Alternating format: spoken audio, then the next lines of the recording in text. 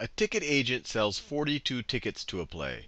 The tickets cost $29 each. Use rounding to estimate the total dollars taken in from the sale of the tickets. Now, if we wanted the exact number, we could say 42 42 times 29, and we could work out the multiplication. But they essentially want us to be able to do it in our head. We want to round the numbers first and then multiply.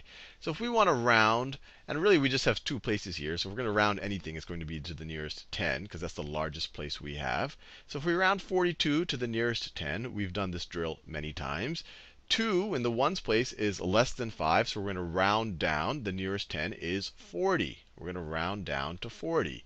29 if we round to the nearest 10, 9 in the ones place is greater than, well, greater than or equal to 5. So we round up. The nearest 10 is 30.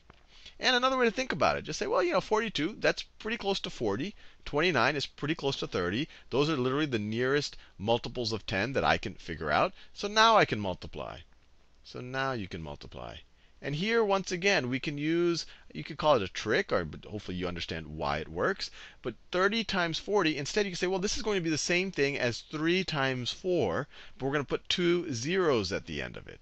30 times 40 is the same thing as 3 times 4 with two zeros. Let's do that. So you have 3 times 4 is 12, which we know. And then we have two zeros we got that 0, so let's stick that 0 there, and then we got that blue 0 there. So let's put that over there.